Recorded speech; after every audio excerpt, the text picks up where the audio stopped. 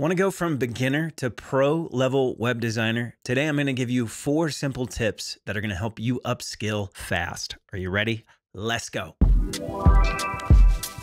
As web building platforms become easier and easier and more accessible to non technical folks, the competition is growing. And so that means if you're going to stand out as a web designer, you've got to get really good at getting better and better at what you do. That can feel exhausting, but it doesn't have to. It can actually be a lot of fun. And today I'm going to share with you some things that I have done to get better and grow my skills. The good news is that there's no expensive course that's required. There's nothing that is out of range of anybody being able to do. The first thing that is really important in becoming a better web designer is, is understanding your role, okay? You're not just somebody who's building a website for a client or building a website for a boss, you need to think of yourself as a strategist. Think of the big picture behind what it is that you're doing. If you only ever just build websites, you're going to be playing at a very low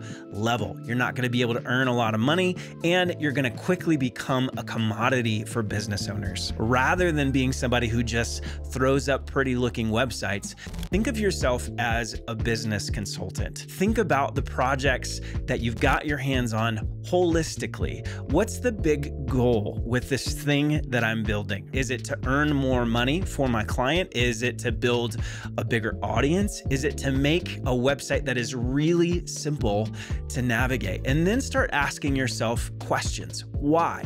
Why is this important? Try to give multiple perspectives so that the people that you're working with understand that you're more than just somebody who can turn dials, plug in code, or maybe find a really cool color palette. But it's not just enough to know that you are more of a business consultant than a web designer. You actually need the hard skills to put those strategies into action. And so the second tip to become a better web designer is you've got to grow your skills. This isn't just taking a course or getting a degree and then calling it good. This is long-term growth over time.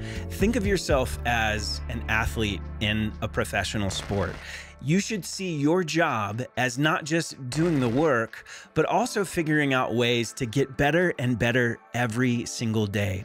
It reminds me of a story I heard about Kobe Bryant, who would wake up at 4 a.m. every single morning, in season, out of season, and he would go in and get a couple hours of practice. And then he would come home and he would take a break, and then he would go back and he would get in a couple more hours of practice. And this was his day every single day for as long as he was a professional athlete. Now, you don't necessarily have to be that neurotic about getting that much time and effort into making sure your skills are staying up to par. But if you just took eight minutes a day and did that every single day over the course of a year, you would be better than 90% of the people out there who are doing the same thing as you. Just eight minutes a day. So try to set aside a little bit of time every single day to grow those skills. What types of skills should I be growing, Chris? Great question. The good news is that as a web designer, there's all sorts of things that you could add to your skill set that are gonna still be in the realm of what you do as a web designer. For instance, you could be a web designer who's also really proficient in SEO. You could be a web designer who's great at branding. You could be a web designer who has a lot of software slash app developing slash coding skills. The amount of things that you could add to your skill set are really limitless. So my question to you is, what makes you excited? What are the things that you find yourself being really interested? If it's more branding, then then do a little bit of effort every single day to try to work on those branding skills. If it's more of like messaging or copywriting, try to write a little bit every day. If it's more in the design realm, try to design a little bit every single day. For myself, I really love writing and I really love design. And so I try to do at least a little bit of writing every day and at least a little bit of designing every day so that I know I'm keeping those skills fresh and I'm growing at the same time. But you've got to be really careful that you're not growing your skills in an echo chamber, in a vacuum. You need to figure out what other people are doing so you can borrow off of their ideas and get even more creative. And so, my third tip for you is be really, really curious. My design skills grew exponentially when I went out and started scouring the internet to find really cool websites. There's a lot of really great resources to find some awesome web design inspiration. In fact, I made an entire video that talks about 38 different sources for web design inspiration. Finally, and maybe the most important tip that I can give you to become a better web designer is find a community that you can share ideas, that you can also give feedback and really refine your skills. Nobody grows all on their own.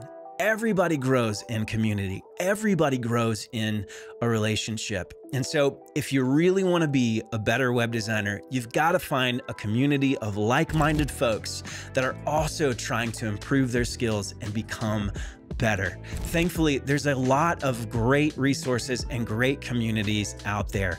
I work for Showit and I run the Showit community. And so if you have a Showit website or a Showit subscription, you're automatically added into the designer community. It's a great resource and honestly worth the subscription. But it doesn't necessarily have to be an online community. One of my good friends helped me so much when I was first getting started.